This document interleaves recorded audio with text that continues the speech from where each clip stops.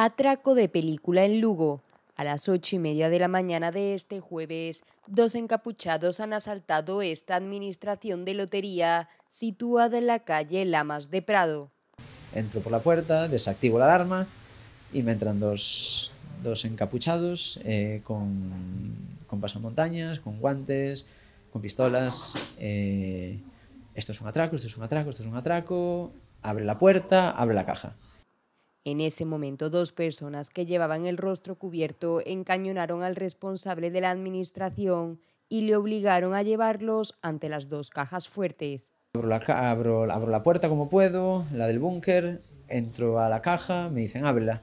Entonces tardo un poco en abrirla porque tiene medidas de seguridad. El asalto duró en total unos ocho minutos, en los que tuvieron que esperar a que el sistema de las cajas de seguridad permitiese acceder a su contenido y una vez dentro 30, 40 segundos tardaron en llevarse todo el dinero de la caja, lo metieron en una mochila, me encerraron por, me encerraron por dentro, yo no podía salir, cogieron mis llaves, me encerraron y me dijeron no te muevas, no te levantes hasta pasados unos segundos.